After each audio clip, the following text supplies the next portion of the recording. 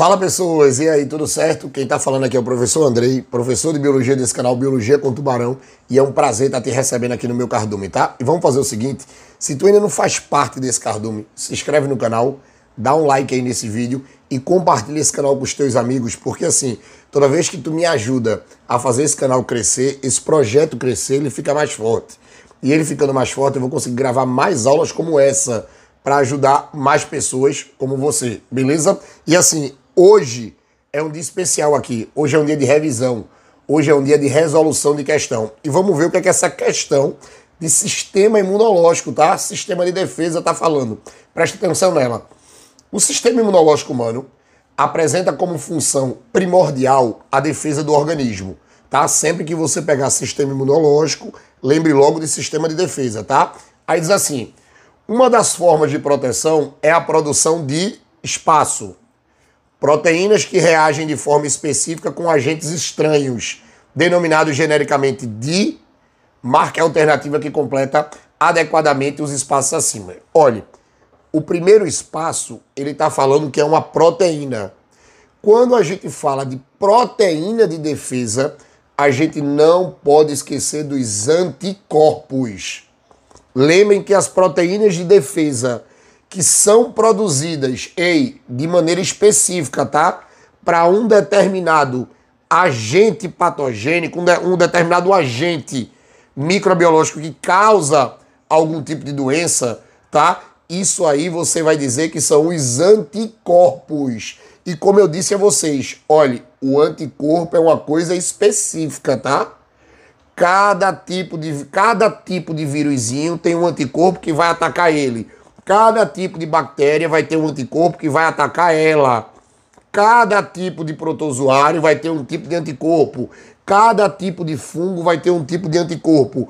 Lembrem que os anticorpos são produzidos de forma específica, tá? E os anticorpos são produzidos a partir de leucócitos, denominados linfócitos. Beleza? E lembrem que os linfócitos são leucócitos agranulócitos, são células do sangue. Mas aí você pode dizer assim, oh, Andrei, mas não tem outra célula sem ser do sangue que não produz anticorpo, né? Tem. Cuidado com os plasmócitos. Os plasmócitos, que são células do tecido conjuntivo propriamente dito, também produzem anticorpo, tá?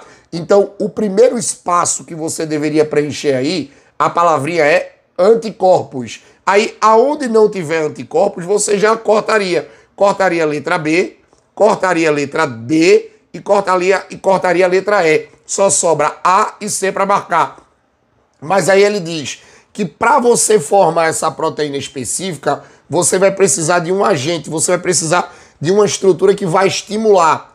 Lembrem que quem estimula a produção de um determinado anticorpo é o antígeno. Então, o danado do agente, o danado do corpo estranho, quando ele entra no nosso corpo e ele estimula a produção de um determinado anticorpo contra ele, esse estimulante é chamado de antígeno. Então, o gabarito dessa questão ó, é gabarito letra C, anticorpo e antígeno, tá? Então, quando um determinado corpo estranho, um determinado microorganismo entra no teu corpo, ele estimula o teu corpo a produzir um anticorpo contra ele.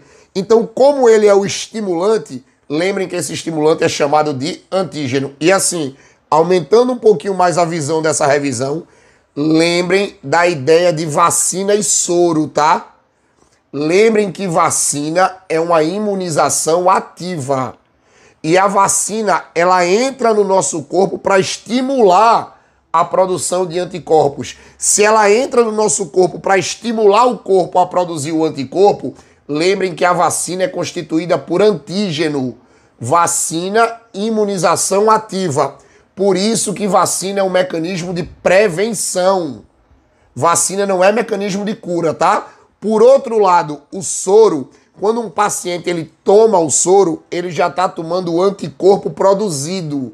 Se ele já está tomando o anticorpo produzido, então isso aí é uma imunização passiva. Por que uma imunização passiva? Porque o corpo não vai precisar trabalhar para fabricar anticorpo, porque ele já está tomando o anticorpo específico contra aquela determinada doença. Então, O danado do soro que vai cheio de anticorpo para dentro do paciente, ele é uma imunização passiva e ele é um mecanismo de tratamento. Ele não é um mecanismo de prevenção.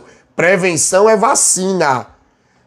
Mecanismo de tratamento, mecanismo terapêutico é soro, tá? Não pode esquecer disso. Ah, e outra dica, tá? Lembrem que vacina gera, gera memória imunológica. Soro não gera, tá? Soro não gera memória imunológica, beleza? Então o gabarito dessa questão é gabarito letra C. Tranquilo? Ei, gostaram da revisão? Então não se esquece de entrar aqui no canal não, tá? Porque eu quero encontrar você, menino, você, menina, aqui no canal nas nossas próximas aulas, beleza? Espero vocês aqui no Cardume. Beijo no coração, viu? Valeu!